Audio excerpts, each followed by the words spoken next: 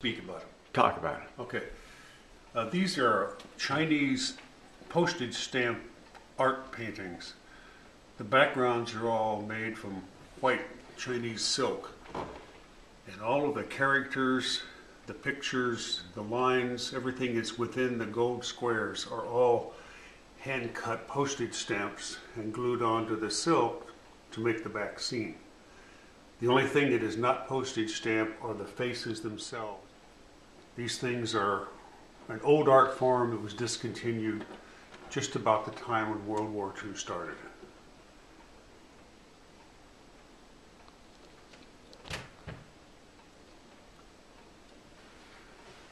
Very good. Thank you. Sure.